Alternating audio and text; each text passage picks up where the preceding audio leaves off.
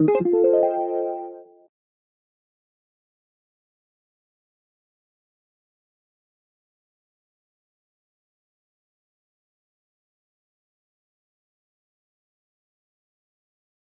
l'ouverture de Range-mots, nous découvrons directement, sans paramétrage ni option, un menu qui regroupe les thèmes du jeu. Nous décidons librement du thème qui nous intéresse. Commençons par le sport, par exemple. Ce thème est facile à aborder à tous les âges, petits ou grands. Vous pouvez voir le titre de la catégorie et deux étiquettes colorées placées à gauche et à droite de l'écran. Le doigt posé à droite ou à gauche sur les étoiles va guider le mot dans la grande boîte à mots que vous voyez en dessous. Six cases numérotées invitent à placer dans l'ordre de la lecture. Un mot mal placé ou erroné retournera à sa place.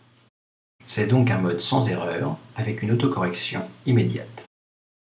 Quand la boîte est pleine, les six mots de la catégorie restent affichés sans passage automatique. Le temps n'intervient pas, chacun avance à son rythme.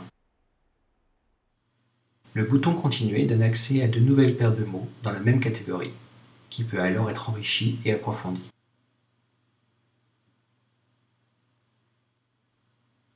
Le bouton Changer fait apparaître un nouveau thème.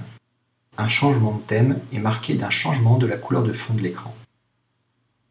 Avancer rapidement en s'adaptant vite à chaque changement accentue l'aspect ludique quand les performances sont acquises.